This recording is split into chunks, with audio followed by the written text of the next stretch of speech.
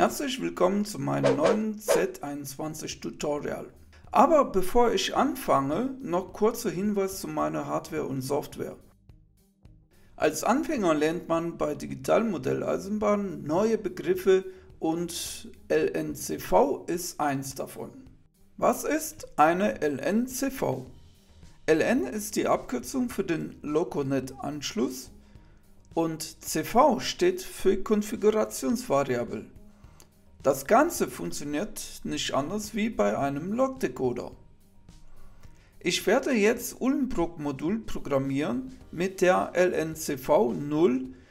Diese steht für die Adresse des Moduls.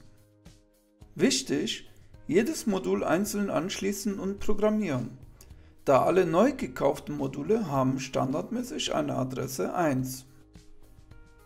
Falls du das Tool noch nicht haben solltest, dann kannst du es von der Webseite www.z21.eu herunterladen.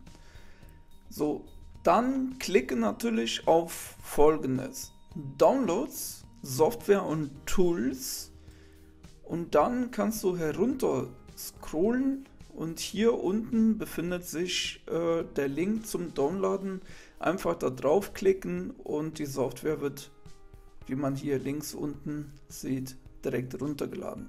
Und natürlich im Anschluss installieren.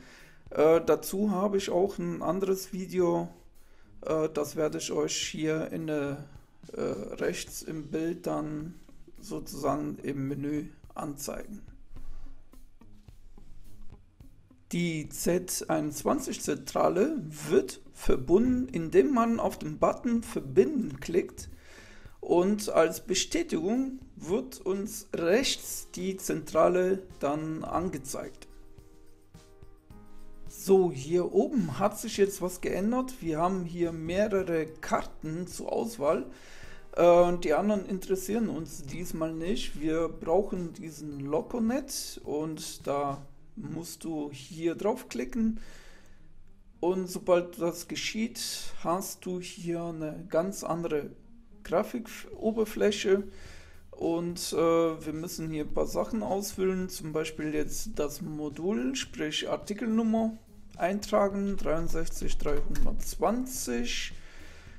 Äh, das Modul hat eine Adresse vom Werk 1, äh, LNCV Nummer 0 und äh, damit wir diesen Wert hier auslesen können, musst du LNCV lesen klicken und wie schon gesagt, die, das Modul hat ja die Adresse 1. Ja. So, jetzt möchtest du natürlich die Adresse ändern und das geht wie folgt. Äh, wir müssen jetzt hier bei den LNCV-Wert ja, entweder die 2, 3 oder 4, je nachdem welches Modul du äh, eintragen möchtest. Ja, hier diesen LNCV 4 eintragen und dann auf LNCV schreiben klicken. So, damit ist die ganze Sache erledigt. Jetzt, um zu prüfen, ob das auch funktioniert hat, kannst du entweder hier auf LNCV lesen klicken so, da kam nämlich eine Meldung, die sieht so aus, das heißt, das Modul ist geändert worden oder die Moduladresse ist geändert worden und ist nicht mehr unter 1 zu finden. So, wir können jetzt hier die 4 eingeben, da löschen und das nochmal ausprobieren, also sprich hier auf LNCV lesen drücken und zack, hinten wird uns die 4 angezeigt, kein Fehler, also haben wir auch das richtig gemacht.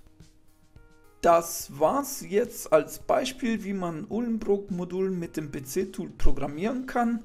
Wenn dir das Video gefallen hat, dann zeig es mir bitte mit dem Daumen nach oben.